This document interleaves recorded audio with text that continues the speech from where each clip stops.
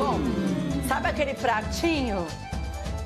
Já era. Tem gente que fala assim, não tá no ar. Claro que tá no ar, gente. Por sinal, eles ficam vendo a gente no intervalo também? Ah, não, porque senão iam ver a gente da turma da faxina. Olha, gente, receita divina desse bolo hoje.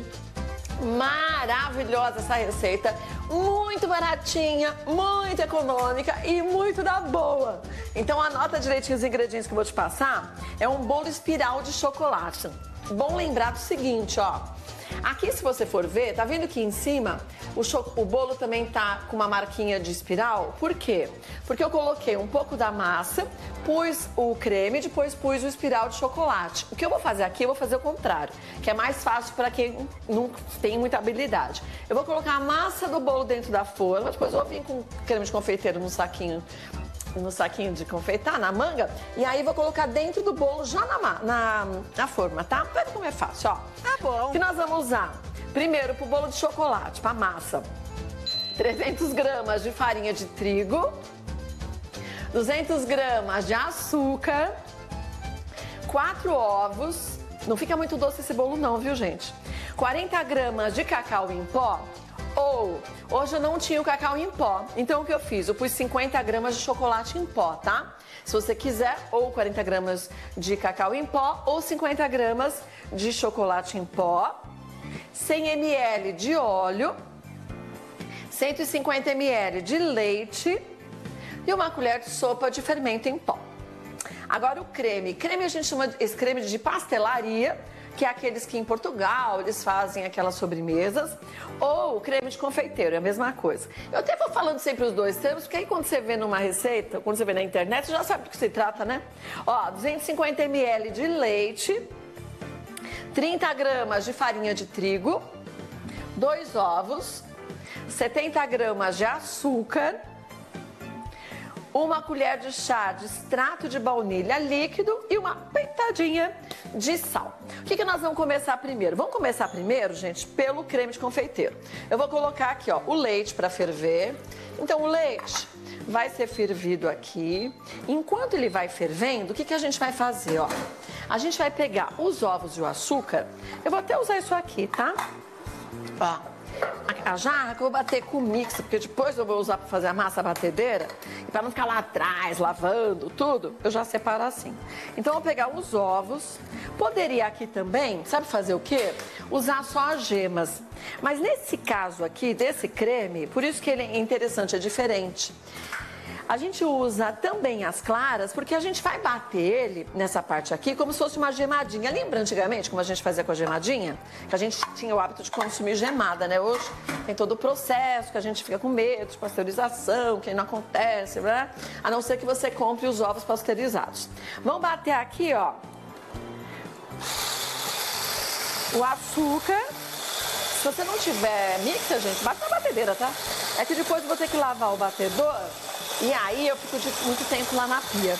Então vamos bater aqui até ficar cremosinho, tá? Enquanto isso, o leite vai fervendo. Quando o leite ferver, o que a gente vai fazer? A gente vai pegar. Vou colocar a baunilha? Pode colocar no leite, no leite. Ou se você quisesse colocar aqui, também poderia, tá? Vou fazer o quê? Aqui é bater até ficar clarinho. Na hora que o leite ferver, eu vou pegar essa farinha, eu vou colocar a farinha para bater aqui junto e vou colocar o leite fervendo e vou jogar aqui aos pouquinhos, porque senão cozinha rápido. Depois que eu bati aqui direitinho, junto um pouco do leite, tudo volta pra panela e vamos engrossar. Aí a gente começa a massa de bolo. Ó, tá vendo que tá ficando clarinho, ó? Então, aqui eu já vou juntar. Vai leite, ferve leite. Vou jogar a farinha aos pouquinhos. Só não vai no batedor, porque senão ela sai voando em tudo, tá? E ó, vai mandando suas perguntas, o Alex já vai passando pra gente, a gente já vai esclarecendo. Você do YouTube também, pode colocando no YouTube aí as perguntas, o Alex vai pegando e vai passando pra gente, tá?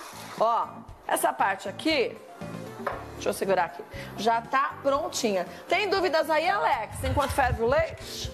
Kátia, primeiro boa tarde para você. Nós estamos muito chiques, porque a gente está multiplataforma. É um negócio do YouTube, é um negócio da televisão, é chique demais. Você viu, menino? Maravilhoso, hein? Estamos chiques. É, então. Pessoal... Redes sociais. Rede social é uma loucura. Nosso melhor da tarde na, nas galáxias. O pessoal já mandou muitos comentários, É mandando beijo, falando que você está ornando com a cozinha hoje. Quais? Você está combinando com a panela, combinando com o negócio de azeite. É verdade. Ó, tem um enquadramento. e a pazinha ali. Agora a Não, e Dulcineia. o Neri tá de vermelho também. Neri hoje. tá de vermelho, eu vi pelo, pela reunião mais cedo, é verdade. Dia de vermelho hoje. Também. Boa. Oi, gatinho. Olá, olá. O que, que ela quer saber? A Dulce, esse oi gatinho foi o Serginho pro Neri, não fui eu, tá, gente? Queria deixar bem claro. A Dulcineia, ela quer Eu saber vi, o seguinte. vi. É fato. Dá pra Ah. fazer porções individuais, Kátia, mini bolinhos, porque ela já quer vender, ganhar um dinheirinho. Pode, sabe o que você pode fazer até? Em, sabe aquelas forminhas de papel de, cami- de cupcake? Faz em forminha de cupcake também, do mesmo jeito. Aí você não precisa nem fazer o espiral se você não quiser. Como vai ser a borda pequenininha, você pode só espetar e colocar o recheio no meio e em cima você faz um espiralzinho. Boa ideia, viu? Ó, Hum, cheiroso tá esse leite. Agora eu vou fazer o quê? Vou bat- começar a bater e vou colocar o leite aos pouquinhos. Eu vou deixar bem na frente, ó, para ficar mais fácil. O bem aos pouquinhos é para mim mesmo, entendeu? Eu não fazer lambança. Eu às vezes falo, Kátia, aos pouquinhos. Ó, bem aos pouquinhos, para não cozinhar. Eu coloquei essa jarrinha, gente, que eu achei fácil. Opa, até para vocês visualizarem, né? E é pouquinho leite. Ó. Eita, é tão pouquinho que eu derrubei um tanto, né? Pronto, vou tudo e bater aqui um pouquinho, ó. Pronto. Se, não faço, se eu não faço sujeira, não sou eu. Isso desde criança, minha mãe queria me esganar, eu tava sempre fazendo lambança. Ó, volta aqui pra panela e agora nós vamos deixar esse creme engrossar. Vocês viram como ele é diferente? Aquele creme de confeiteiro tradicional, a gente não bate o açúcar com os ovos e depois faz esse processo. Então é um processo bem legal. Esse é o creminho, gente, está no meio desse bolo. E antes que perguntem, para essa receita é legal usar essa receita mesmo de creme de confeiteiro, tá? Se você usar aquela outra receita tradicional, não é que vai dar errado, mas não vai ficar do mesmo jeito que é o que a gente quer aqui, tá? Agora nós vamos fazer, enquanto engrossa, eu vou ficando de olho para eu mexer, nós vamos fazer a massa do bolo, tá? Aqui vai só engrossar e eu vou mexendo para ele não queimar, né? A massa do bolo, vamos bater primeiro, ó, os ovos e o açúcar.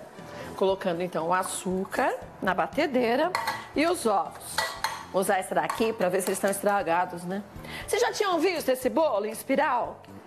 Gente, é uma receita tão legal. Sabe que quando eu vi, quando eu vi, achei tão legal. Ô, Alex, pessoal já tinha visto essa receita, não? Kátia, tem muita gente aqui falando, ó, por exemplo, a Nessa, a Calcilda, o pessoal do YouTube, que nunca tinha visto, é, que é diferente, é inusitado, Ah. né? Diferente, né? Verdade. Eu achei, achei muito legal. E tem alguma dúvida aí já surgindo? Tem algumas dúvidas. A Priscila Amadio, ela quer saber se pode rechear com uma ganache Ah. ou então um brigadeiro. Então, eu vou te falar uma coisa, Pri. Se você colocar um brigadeiro, você vai ter que fazer uma massa branca, aí tem que ser uma outra massa. Porque o brigadeiro escuro com o, o bolo de chocolate escuro, você vai perder essa característica de você ver o recheio, né? Agora, se você quiser fazer nesse creme, Faz o mesmo creme, mas aí você coloca um pouco de coco, você faz tipo um recheio de um bolo prestígio, aí pode. Ou coloca um chocolate branco depois aqui, vamos dizer, umas 150 gramas de chocolate branco, fica legal.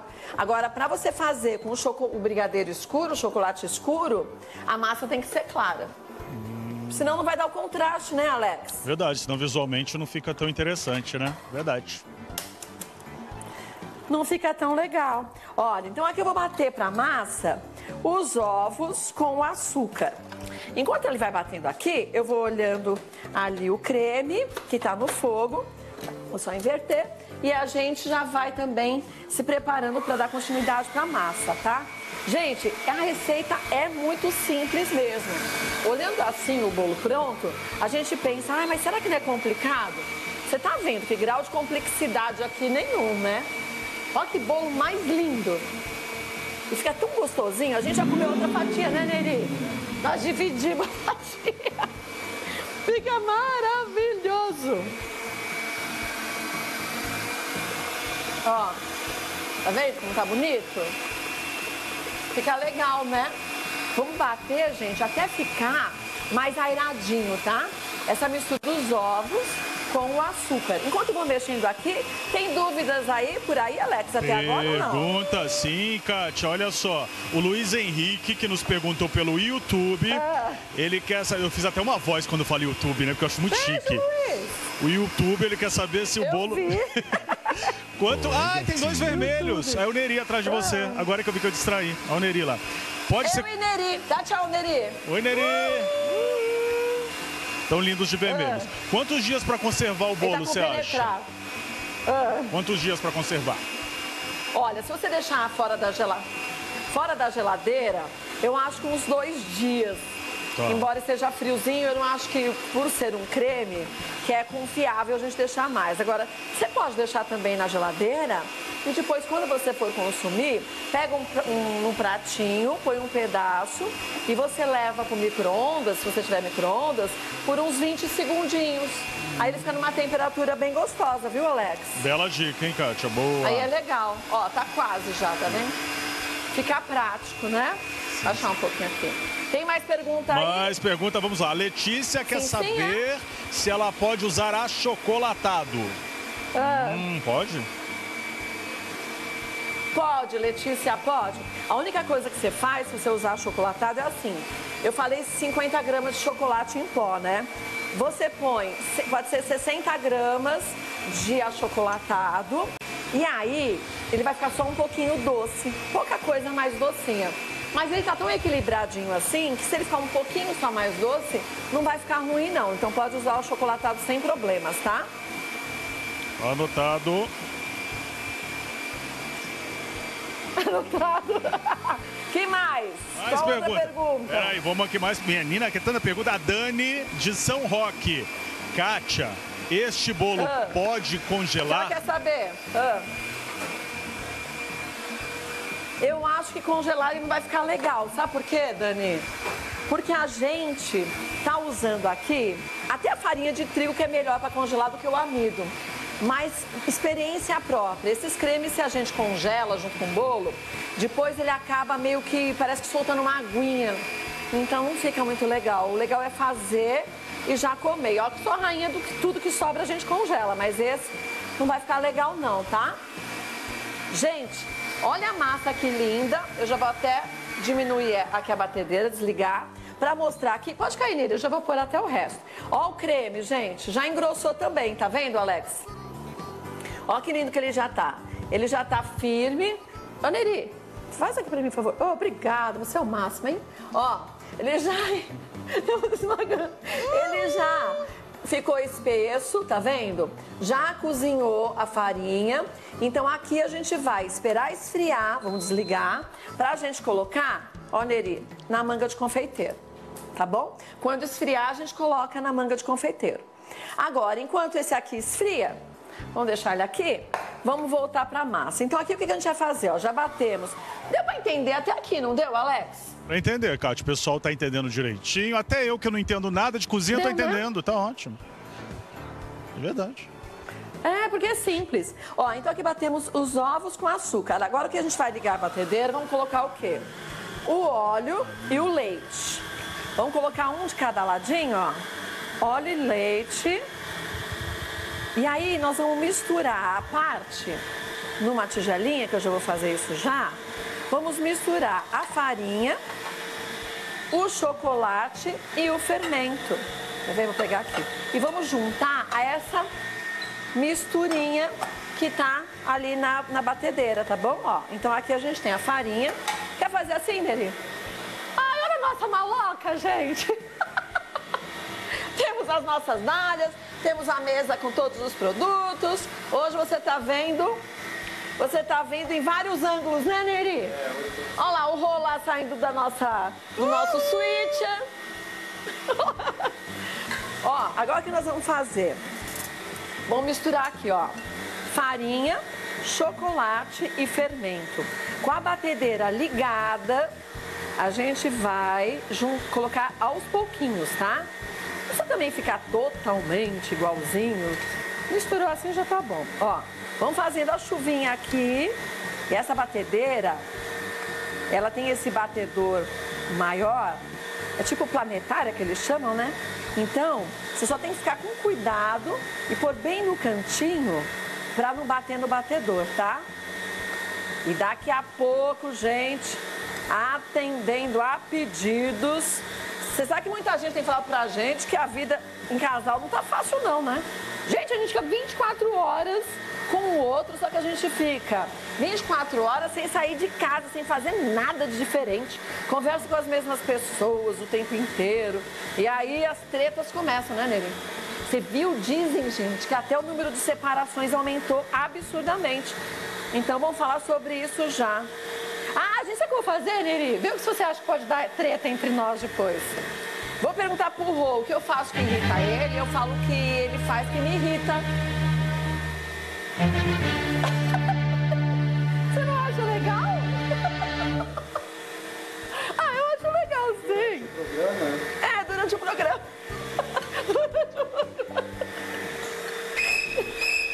Você acha que durante, você acha que durante o programa não vai dar certo? Pode dar pau?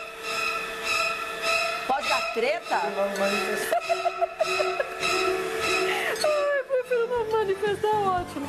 Gente, deixa eu só colocar agora o resto. Aqui, olha. E vou... Ai, é que eu tô tentando não te espremer, Neri.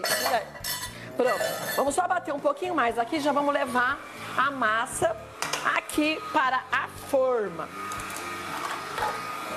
Isso. Tá bom? Porque agora o resto...